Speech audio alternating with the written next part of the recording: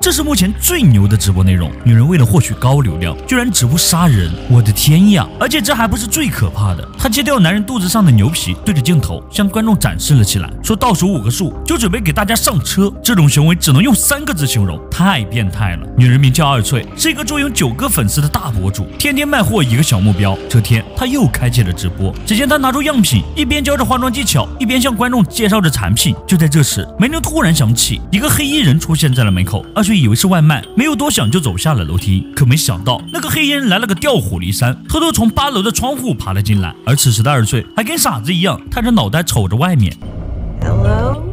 见没人后，二翠又回到了屋子。听到脚步声的坏人急忙躲了起来。回到座位的二翠并没有多想，又开始化起了淡妆，介绍了起来。结果二翠一个品还没介绍完，坏人就不小心碰到了东西，发出了声音。二翠一听，壮着胆子就朝屋子走去，打开里面的电灯，然后谨慎的走了出来。原来是套娃掉在了地上。二翠一脸疑问的捡起套娃，看了看后又放了回去，赶紧离开了这里。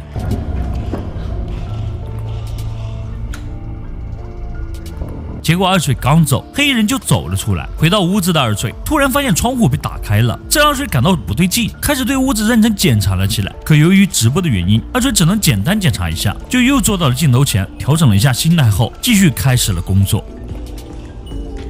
Oh my god！买它买它！结果话音刚落，家里就突然停电了。家里闯进陌生男人，女人却浑然不知，还在对着镜头直播。可就当她用完产品准备介绍时，电灯突然灭了。二翠以为停电了，可她瞅了瞅窗户后，发现只有自己的房子断了电。没办法，她只好走下楼梯，朝着电闸走去。结果二翠刚走进屋子，黑衣人就冒了出来，拿着手电筒在屋子里不停的喊着小帅的名字。找了半天没找到后，男人又拿出六点七寸一 T 十六和六 G 大内存的九手暗夜紫十四 Pro Max。给小帅打去了电话，突然电话铃声从床下传来。就在同时，房间的灯也亮了起来。他弯腰查看情况，我的天呀，居然从床下拉出了一具尸体！这把男人吓得尿不湿都湿了。这时，二翠修完电赶了回来，可走到一半时，他却停下了脚步，朝着摄像头邪恶的笑了起来，仿佛这一切都在他的预料之中一样。听到动静的男人急忙把小帅塞了回去，然后躲进了屋子，关上了肛门。回来后的二翠抱起床上的娃娃，给他调动了一下位置。我的天呀，娃娃里居然有个摄摄像头！原来黑衣人的行动都被二翠监视在了眼里，看样子那个黑衣人才是真正的受害者。通过摄像头，二翠发现卧室的钢门被关了起来，可从他的表情中可以看出，二翠一点也不慌张，甚至还邪恶的笑了起来。只见他告诉粉丝，接下来的事情会非常有意思，请大家一定不要划走，认真观看。美女为了上热门，居然直播杀人，太可怕了。这天，一个黑衣人来到家里，躲进了女人的卧室。男人不知道的是，自己的一举一动全被二翠给监视了下来。只只见他不。慌不忙坐在镜头面前，告诉大家精彩内容马上开始了。接着两个手指一扒拉，把自己的妆容变成了恶魔之眼，然后又拿出九九九大红袍口红，轻轻的用力一倒，给自己画了一个小丑的嘴巴，拿出一个八十吨的小锤，朝着卧室走去。男人见状，推开二翠，急忙逃跑。二翠不慌不忙走到男人的手机前，给他砸成了稀巴烂。随后拿着小锤在屋子里到处找起了男人，眼瞅着就要被找到，男人跑到肛门想要逃走，可。门已经被二翠紧紧锁死。突然，二翠走到了男人身后，薅住男人的头发，朝着肛门撞了上去。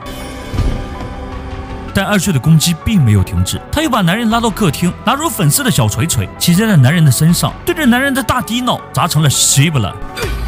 接着，他把尸体放在床上，剥下了一块牛皮，拿在镜头前向观众展示了起来。可就当二翠低头时，奇怪的一幕发生了，后面的尸体居然站了起来。